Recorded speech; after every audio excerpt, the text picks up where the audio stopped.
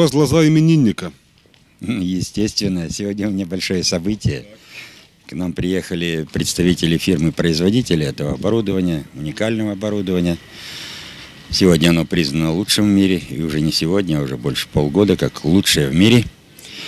Э, Приехали они для того, чтобы, во-первых, убедиться, э, правильно ли эксплуатируется оборудование, э, убедиться в его нормальном техническом состоянии, Для совсем непосвященных мы просто вынуждены сообщить некоторые детали. Эксимер лазер единственный в России, способный без ножа методом испарения роговицы глаза и изменения ее кривизны возвращать стопроцентное зрение. И возвращает он его, в отличие от клиники Святослава Федорова, так, что только что прооперированный человек может трудиться и умственно, и физически. Прошло 10 минут.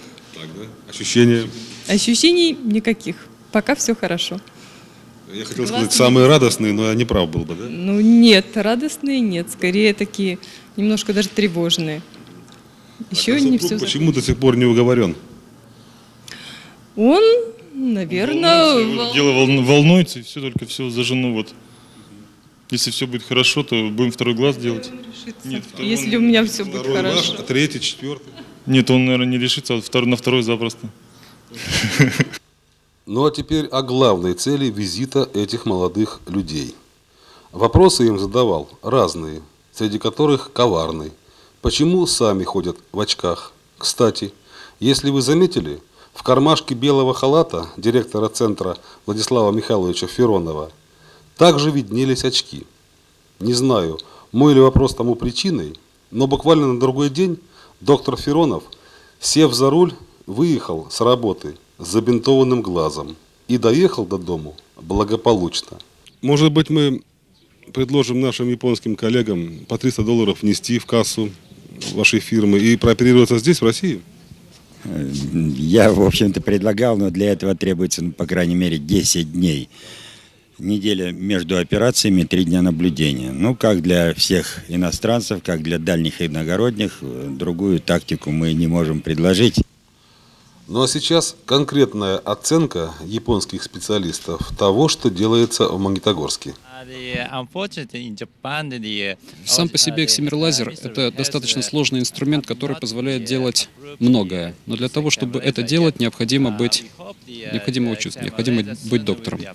Я могу сравнить это с реактивным самолетом. Сам по себе, сам по себе самолет, это, он может все. Но для того, чтобы на нем летать, надо это уметь, надо иметь определенный опыт.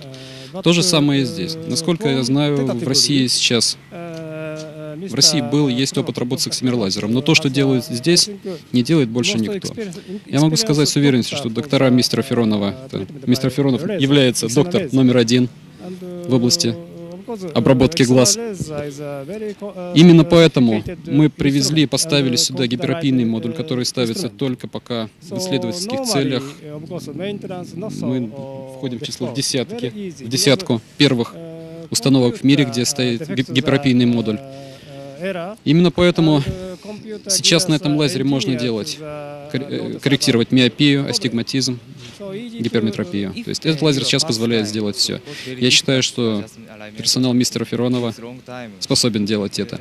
И уже на следующей неделе, через неделю, вы можете реально оперировать пациентов с гиперметропией.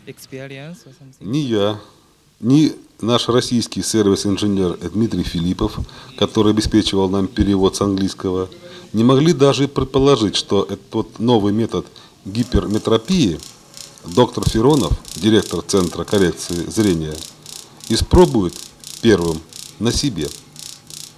Ну а теперь вот о чем. Предвосхищая ваш вопрос, почему именно на Магнитке, а не, к примеру, в Челябинске или Екатеринбурге, в Ростове появился чудо-лазер, отвечу так. Центр Феронова, где собрались настоящие профессионалы, пошел на огромный риск, купив эксимер-лазер за огромные деньги, для чего взял в банке кредит. Из бюджета целевым назначением сумму под миллион долларов выделить сегодня затруднительно. Вот и решили магнитогорцы пойти цивилизованным путем, для чего и организовали платное лечение. Но если для людей с нормальным достатком заплатить 300 долларов за глаз не очень обременительно, то для бюджетной среды, а она в большинстве своем безденежна и очки носит, это просто не по силам. Есть у моих земляков одна идея – лечить учителей, актеров, врачей бесплатно. И за это получить некоторые налоговые льготы. Неплохо было бы эту идею городским властям поддержать. Уж больно полезное дело для всех люди затеяли. Я представляю здесь фирму «Экомедпол». Это австрийская фирма.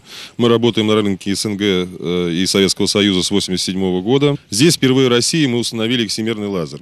Действительно, это продукция номер один э, среди, среди той всей продукции, которую предлагает наша фирма. Мы очень верим в будущее этого прибора и надеемся, что у Владислава Михайловича Феронова э, с лазером будет все нормально, будет много пациентов. Ему просто повезло, что он купил э, оборудование последнего поколения.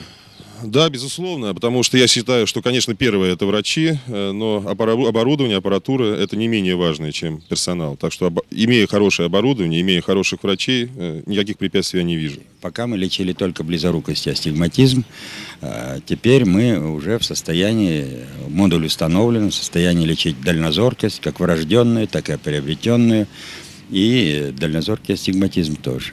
То есть, о чем мы говорили с вами буквально вот э, три месяца назад, что летом этого года мы начнем лечить э, зрение с плюсом. Э, мы не обманули ни насколько, так? Ну, получилось э, точка в точку, в десятку.